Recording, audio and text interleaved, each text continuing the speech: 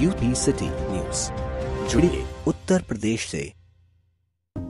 तीस हज़ार से अधिक लोग एक साथ बोलेंगे वंदे मातरम। बनाया जाएगा विश्व रिकॉर्ड। चोरा चोरी शताब्दी समारोह में एक विश्व कीर्तिमान स्थापित करने की भी तैयारी यह कीर्तिमान एक तय समय से तीस हज़ार से अधिक लोगों द्वारा वंदे मातरम बोलकर उसका वीडियो अपलोड करना होगा। इसकी तैयारी में लगे जिला प्रशासन के मुताबिक एक तय समय के भीतर बीस हज़ार लोगों द्वारा वीडियो अपलोड करने का विश्व कीर्तिमान है, मगर इस बार तीस हज़ार से अधिक लोगों को शामिल कर नया रिकॉर्ड कायम किया जाएगा। कार्यक्रम के आयोजकों का कहना है कि इसे लेकर तैयारियाँ चल रही हैं। जब तैयारियों को अमली जामा पहनाया जाएगा तो इस योजना को विस्तार पूर्वक लोगों को साझा किया जाएगा। साथ ही विश्व रिकॉर्ड बनाने की तिथि भी घोषित कर दी जाएगी ये केवल चोरी चोरा कस्बा देखेंगे तकरीबन तो दस करोड़ का परियोजना इस समय पर ऑनगोइंग है और भी परियोजना प्रचलित है।